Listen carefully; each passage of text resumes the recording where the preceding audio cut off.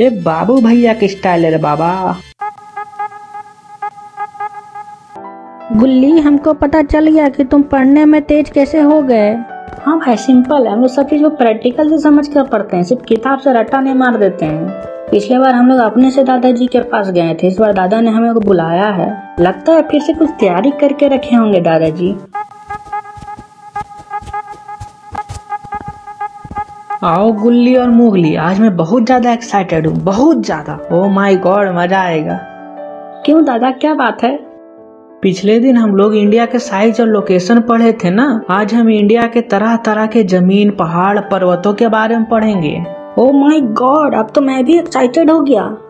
मैं भी मोगली। देखो जैसा कि मैंने बताया था कि भारत एक बहुत बड़ा देश है। हाँ दादा इंडिया तो साइज़ में सेवंथ नंबर पे आता है। हाँ भारत इतना बड़ा है तो इसकी ज़मीन तो एक जैसे नहीं होगी ना। कहीं पर ज़मीन प्लेन होगी तो कहीं पर माउंटेन्स होगी तो कहीं डेजर्ट यानी रेगिस्तान होगा तो कहीं आइलैंड होगा। हाँ दादा आपने तो सही कहा एक जैसा ज़मीन तो नहीं होगा। कहीं पहाड़ तो कहीं डेजर्ट तो कहीं आइलैंड होगा ही होगा। तो देखो दोस्त इंडिया के जमीनों को यानी रीजन को हम लोग छह पार्ट्स में डिवाइड किए हैं। देख लो बगल में लगा दिया हूँ। अभी हम लोग हिमालयन माउंटेन को देखते हैं। ये हिमालयन माउंटेन फाइव कंट्री में फैला हुआ है। इंडिया नेपाल पाकिस्तान भूटान और चाइना तो अभी हम लोग इंडिया में जो हिमालयन माउंटेन है ना, उसको पढ़ेंगे। ओ ओ, हिमालय तो बहुत बड़ा माउंटेन है, दादाजी। हाँ देखो, ये हिमालयन माउंटेन इंडिया के दो रिवर्स इंदस और ब्रह्मपुत्रा के बीच में है, और ये पहाड़ का लंबाई लगभग 2400 किलोमीटर है। बहुत बड़ा है, जानता हूँ तो देखो, इसकी चौड़ाई ना 400 किलोमीटर है, कश्मीर के तरफ़ से, और 150 किलोमीटर है अरुणाचल प्रदेश की तरफ़ से। ओ दादाजी, बहुत बड़ा पहाड़ है। घूमने जाऊँगा, इसके आसपास, मैं हाँ इसके आसपास जाऊँगा। इसके आसपास घूमेंगे? ओहो, देखो देखो कंफ्यूज मत होना। कि ये हिमालयन माउंटेन कौन सा माउंटेन है?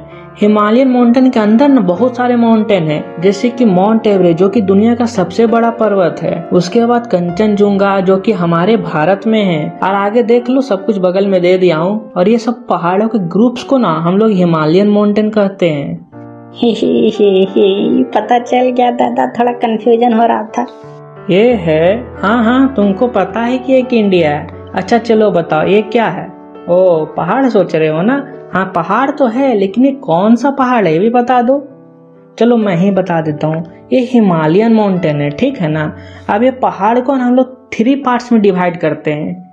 जो पार्ट सबसे ऊपर है ना, उसको हम लोग ग्रेट हिमालयस या इनर हिमालयस या हिमाद्री कहते हैं। इसकी हाइट की बात की जाए तो ये लगभग 6000 मीटर यानी 6 किलोमीटर की है और यह पार्ट ना ग्रेनाइट मटेरियल से बना होता है। और सबसे मज़े की बात यह है कि यह हिमाद्री हमेशा स्नो यानी बर्फ़ से ही हमेशा घिरा हुआ रहता है ढका हुआ रहता। है ये तो हो गया, अब इसके नीचे थोड़ा आते हैं। ये जो सेकेंड वाला पार्ट है ना, बीच वाला, इसको हम लोग हिमाचल या लेसर हिमालयस कहते हैं। इसका ऊंचाई लगभग 3700 मीटर से 4500 मीटर के बीच है। इसके अंदर वैली ऑफ़ कश्मीर और हिमाचल प्रदेश के न कांगड़ा और कुल्लू वैली है। अब आते हैं भैया सबसे नीचे वाला पार्ट को, इसको हम लोग शिवालिक कहते हैं। इसका लंबाई लगभग 900 मीटर से 1100 मीटर के बीच रहता है। ये जो शिवालिक है ना, ये नदी के रेत, यानी जो सेंडिमेंट रहता है ना, उससे बना होता है। और हाँ देखो, हिमाचल और शिवालिक के बीच जो वैलीज है ना, उसको हम लोग दून कहते हैं। डॉन नहीं कहते, दून कहते हैं। कुछ नाम बता देता हूँ, जैसे कि कोटली दून देहरादून और पाटली दून।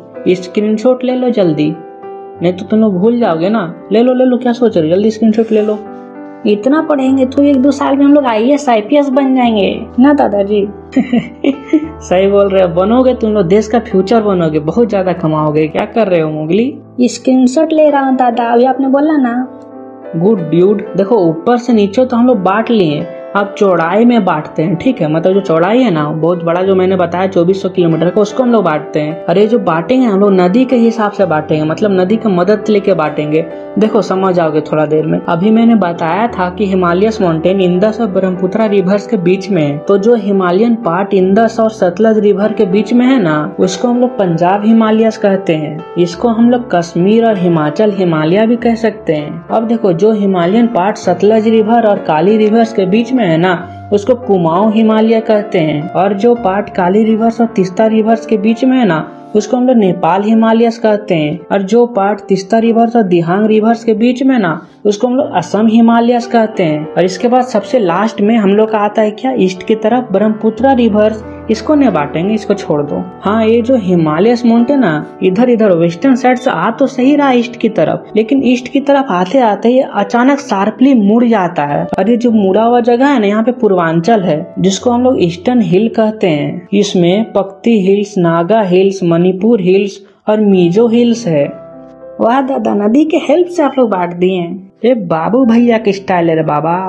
देखो, ये जो येलो कलर का दिख रहा है ना, ये है नॉर्दर्न प्लेन इसको फिर से ना हम लोग थ्री पार्ट में डिवाइड देते हैं। कंफ्यूज मत हो ना धीरे धीरे समझो, सब समझ जाओगे। तो ये जो वेस्ट में है ना फ़र्स्ट पार्ट इसको हम लोग पंजाब प्लेन कहते हैं। ये इसलिए बना है क्योंकि इससे इंदस रिवर बहता है। सबसे पहला वाला रिवर मैंने बताया था ना। अरे जो सेकेंड पार्ट है ना, इसको हम लोग गंगा प्लेन कहते हैं। ये इसलिए बना है क्योंकि ये गंगा रिवर से यहाँ से बहता है। अब चलो आखिरी वाला बताते हैं। ये जो थर्ड पार्ट है ना, इसको हम ब्रह्मपुत्रा प्लेन कहते हैं। क्यों कहते हैं बताओ? सिंपल है, इसमें ब्रह्मपुत्रा रिवर बहता है, इसलिए। हाँ एक चीज़ और, अभी हम लोग जो हाइट के हिसाब से माउंटेन को बांटे थे ना तो देखो, जो माउंटेन शिवालिक के नीचे होगा ना, ऊपर का तो तीन छोड़ दो, जो शिवालिक के नीचे होगा ना, उसका लोग बाबर बोलेंगे, उसके नीचे जो होगा, उसको तिराय बोलेंगे, और उसके नीचे जो होगा उसको भांगर बोलेंगे और जो सबसे नीचे वाला जो माउंटेन रहेगा, उसको हम लोग खादर बोलेंगे। लोड मतलब जितना याद होगा उतने कर लेना, मैं थोड़ा थोड़ा थोड़ा बता देता हूँ और। देखो जो बाबर वाला एरिया है ना, वो छह से बारह किलोमीटर तक चौड़ा है, जिसमें बहुत तरह के स्टोन्स पाए जाते हैं, जिसको हम लोग पेबल्स कहते हैं, ठीक है? पेबल्स और तिराई वाले एरिया में बहुत ज़्यादा ही घना फॉरेस्ट है, जिसको साल फॉरेस्ट भी कहा जाता है। और जो भांगर वाला रीजन है, उसमें एल्यूमिनियम सॉइल रहता है, ठीक है? इसको याद कर लेना। और लास्ट वाला जो खादर रीजन है ना, वो बहुत अच्छा भाई। क्यों अच्छा? क्योंकि खेती के लिए इसका ज़मीन बहुत ज़्यादा फर्टाइल है, यहाँ बहुत अच्छा खेती हो सकता है। लगता है भारत का सारा चीज़ इसी चैप्टर में डाल दिया गया है। देख लो कुछ कुछ तो याद रहेगा ना। फिर से देख लेना, याद हो जाएगा। हाँ सबसे पहले इसको थोड़ा देखते देखते ना, फिर से जो देखोगे नोट्स बना लेना, याद हो जाएगा। हाँ गुल्ली, सही तो बोल रहे हैं दादा। अब थोड़ा इंटरेस्टिंग और समझने वाला कॉन्सेप्ट बताता हूँ तुम लोगों को, ठीक है? देखो प्लेटू किसको कहते हैं? थोड़ा कंफ्यूजन रहता होगा प्लेटू किसको कहते हैं भाई? देखो ये डायग्राम को। ये वाला जो ज़मीन है, ये नॉर्मल फ्लैट है मतलब ठीक है नॉर्मल इसको ज़मीन बोल सकते हैं फ्लैट ज़मीन बोल सकते हैं। लेकिन ये जो वाला जो ज़मीन है, ऊपर वाला, ये थोड़ा उठा हुआ है, ठीक है, पिछले वाला ज़मीन के हिसाब से।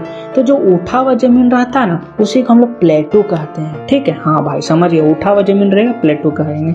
अब देखते हैं पेनिनसुला किसको कहते हैं? देखो, ऐसी कोई भी ज़मीन जो तीनों साइड से ना पानी से घिरा हो, ठीक है, थ्री साइड से, और जो चौथा तरफ़ है ना, उधर लैंड यानी ज़मीन हो तो उसी को हम लोग पेनिनसुला कहते हैं। अब देखो ये वाला जगह को, ये थ्री साइड से पानी से घिरा हुआ है, और एक साइड से ना ज़मीन है इसको हम पेनिनसुला तो बोलेंगे ही, लेकिन ये थोड़ा उठा हुआ भी है, जिसको लोग पेनिनसुला प्लेटू कहेंगे। ठीक है पेनिनसुला प्लेटू।